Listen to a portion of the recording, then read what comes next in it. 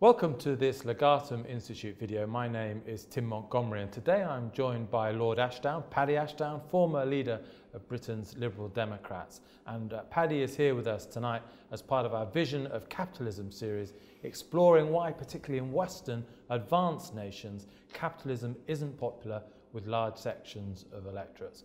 Paddy, welcome to the Legatum Institute. What's your basic answer to that question? Why do so many people in the West now feel that capitalism isn't working for them, isn't working for their children, and in a generation or two, they no longer expect what their parents expected, that they will be, their own children will be better off? Well, there are many answers to the question, Tim, of course, like any big questions, you can't answer it in one. But here's my take for starters. We think we have an economic problem. Actually, we don't. What we have is a political problem. I mean, if you look around, we know perfectly well what we have to do to survive and prosper in the modern, global, interdependent world. We have to be leaner, we have to be fitter, we have to um, spend less uh, on governments, we have to more, have to have more liberal markets, we have to have a more equal society. We know what we need to do. What we can't do is persuade our people that that's the right way to go because they don't trust us any longer. You look at Greece as a classic excessive example of this, but you can look at Britain too. I mean, what you find in Britain now is those with the simplistic answers, which you can be pretty certain, I am totally certain, are wrong. Many of them, even charlatans, are the ones who are winning the votes. Mm. Now, what does that tell you? It means that in a complex world, getting the kind of message we've got to get across to our people in ways that they understand it so as to be able to make capitalism work. And by the way, beyond that, make the state work is something we find it impossible to do.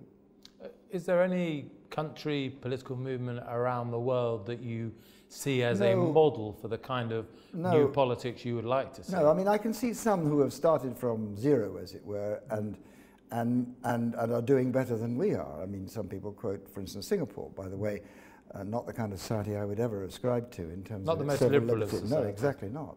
The, but the trick for us is having come from a liberal background, how do we preserve liberalism whilst also create a successful economy? And the answer is no, because no country has yet faced up to the question, which is all our politics is based on the concept of the nation state as it was 100 years ago, mm. the nation state as the monopoly institution by which we know our identity, conduct our government, and conduct our relations with each other. And in fact, the world has moved now well beyond. I don't say the nation state isn't important, it always mm. will be, very important.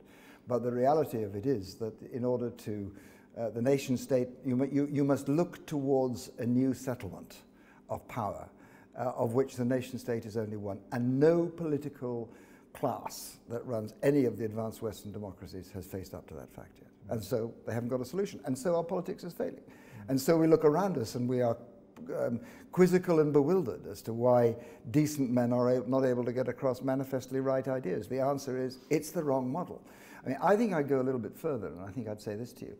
Wherever and whenever you see an economic institution, and let's call politics a kind of economics for the, for the sake of the argument, that whose business model does not take into account the new technologies, the shorthand for a very big thing. This whole a, a thing theme you were ahead of your time on. In Indeed, I remember warning IT about it. Yeah. But whenever you see a business model that does not take into account the post-industrial revolution, the information revolution, you see an industry that's about to fail. By the way, in my view, your own industry is one of these because it's still based on the, the, the newspaper industry. Yeah, exactly. I mean, it's still its economic model is, model is still this whirring gargantuan in the in the cellar producing newsprint. Mm. No people are going to look at that in the future.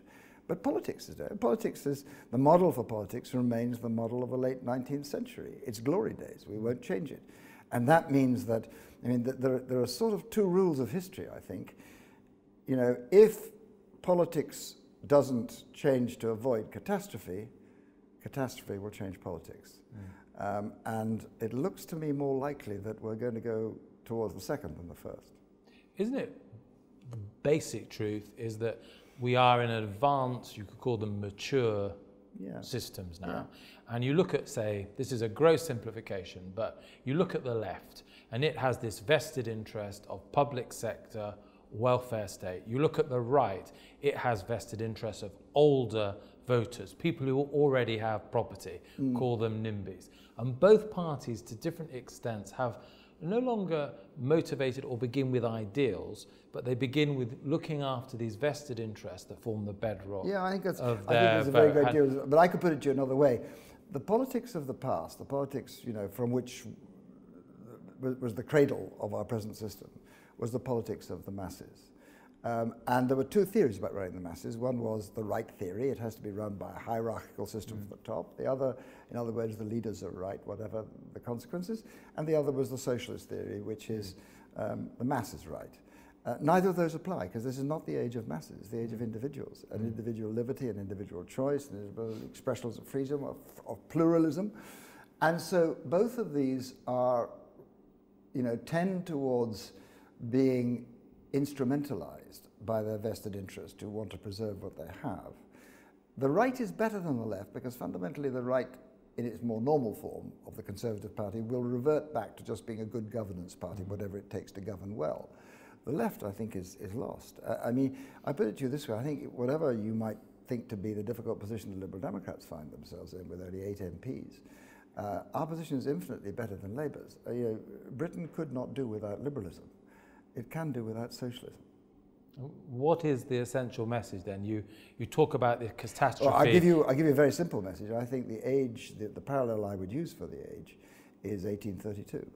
In 1832, the brilliant politicians of the day came together to realize that they could not allow to continue to exist the terrible disjunction between the realities out there and political life. Mm. And we had the 1832 Great Reform Act, which fundamentally altered it. It brought back politics into conjunction with mm. people's experiences. The rest of Europe failed to do that, and the mm. consequence was the great conflagrations that set Europe ablaze in 1848, from one end of Europe to the other. And you think a similar alliance of uh, progressives, I think is the expression that yeah, you've progressives can is, come from, is needed again? Yeah, but progressives can come from, from all sorts of places. Don't imagine the progressives are just the left. Mm. Progressives mm. are the people who are going to be thinking about how do we give form and force to community? Mm. How do we provide for effective government at the lower level? How do we put citizens in more in control? I mean, I can find almost as much fellow travelers, as it were, to this central idea, rather bad phrase to use perhaps, um, to the central idea amongst the, amongst the right, the communitarian right, um, and some even the libertarian right, than I can amongst the old socialist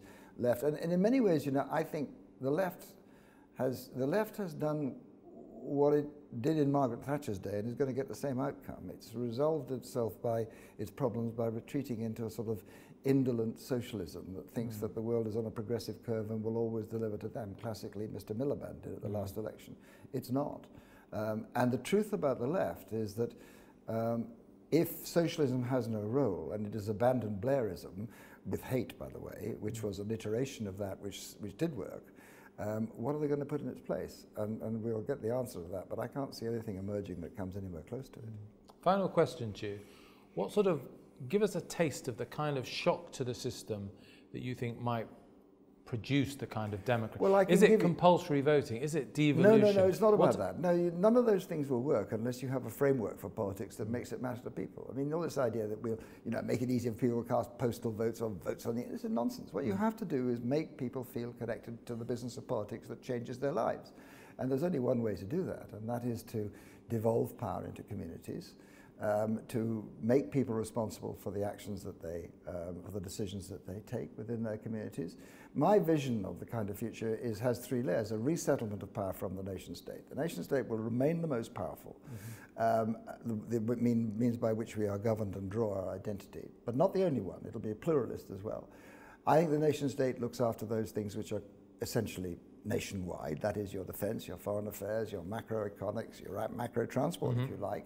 All of those things which turn on the delivery of service to the citizen within a framework of entitlements can be left to the local communities to decide for themselves. And if one decides to have selective education and the other not, well, that's their entitlement. We'll soon discover who's right.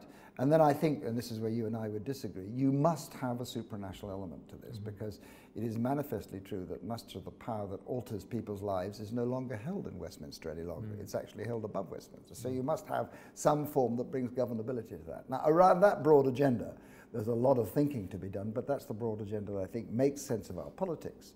And by the way, returning to your question, then politics would find a much more ready conjunction with industry, with capitalism, and with the social mores of our times. It is the disjunction between the way people run businesses, live their lives, um, live within a structure of morality, and the business of politics that is simply past, of which that age is, is, is long past. That's the disjunction that's damaging us. Do what I suggest, and I think we can bring those back into some kind of uh, uh on, on a conjunction again. Paddy Ashdown, thank you very much, and thank you very much for watching. If you'd like to know more about the Legatum Institute and indeed about the Vision of Capitalism series in particular, please do go to our website, which is li.com.